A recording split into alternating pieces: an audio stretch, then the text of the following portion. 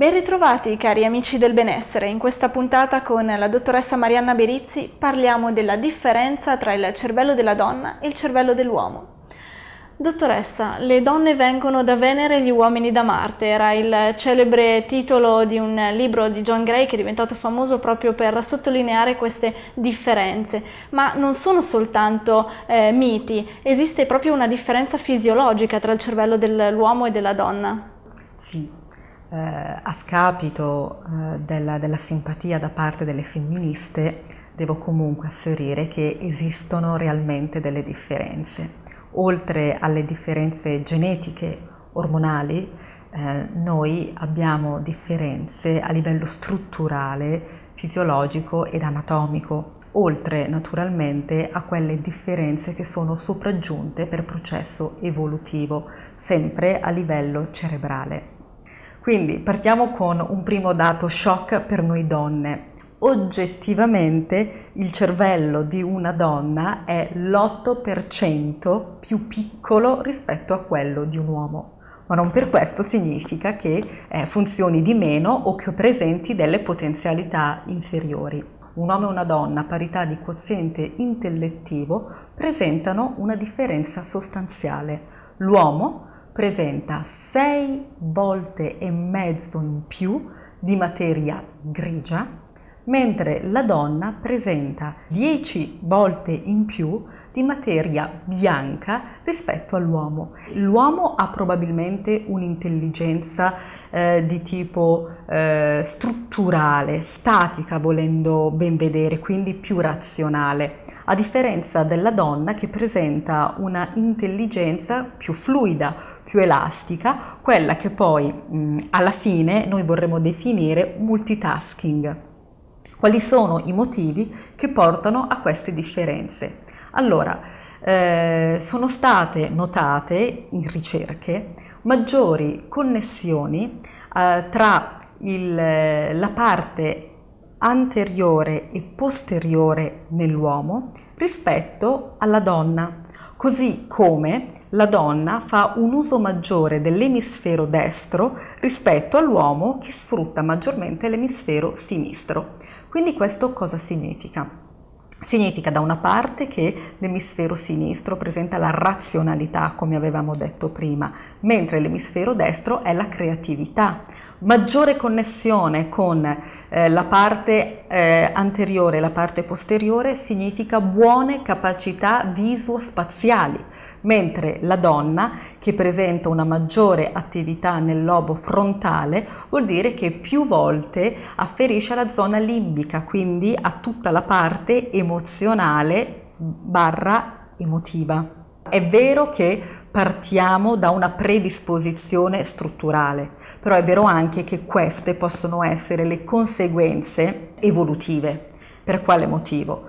Eh, l'uomo era adibito alla caccia, quindi eh, doveva essere capace ad affrontare il pericolo, quindi essere meno previdente, meno ansioso, uscire in spazi aperti, riuscire a cacciare e ritornare alla propria abitazione senza GPS. Ecco. Al contrario, la donna doveva restare eh, nell'abitazione con la presa in cura del, dei piccoli eh, e, e quindi stare anche attenta a preservare la loro salute. Una donna se passeggia con il proprio partner è capace, pur mantenendo lo sguardo dritto, a vedere un bellissimo paio di sandali in saldo nella vetrina di sinistra oppure notare che il proprio partner con la coda dell'occhio ha guardato la ragazza che eh, proveniva dal verso eh, opposto perché naturalmente la capacità visuo-spaziale di una donna è più aperta, perché nel momento in cui usciva dall'abitazione doveva vedere se c'erano pericoli a destra e a sinistra prima di far uscire i, i piccoli. Quindi volendo ben vedere le nostre differenze eh, che talvolta ci portano ad essere non solo differenti ma anche distanti, sono delle condizioni necessarie eh, affinché noi possiamo preservare la nostra specie, oltre a rendere un pochettino più interessante l'interazione tra uomo e donna. Visto che stiamo parlando di evoluzione, la donna può imparare a parcheggiare nel futuro? Certo che può farlo, è una questione di abitudine. Un altro mito forse da sfatare è che le donne sono più chiacchierone, che sono più comunicative, hanno più bisogno di parlare. Le donne semplicemente sono più emotive. Eh, noi riusciamo ad accedere al nostro sistema limbico, quindi a quell'area frontale, o meglio, quell'area che risiede nel lobo frontale più degli uomini. Quindi abbiamo una capacità più fluida nel linguaggio, ma abbiamo anche una capacità di rendere più produttivo il nostro linguaggio e anche più ricco di emotività e di emozionalità. A volte una donna, eh, quando ha un problema, ha solo bisogno di parlarne, non di trovarne la soluzione in maniera immediata, cosa che invece eh, necessita normalmente un uomo. Quindi la chiacchiera è anche un, un sistema per rilassarsi e per raccogliere le proprie idee.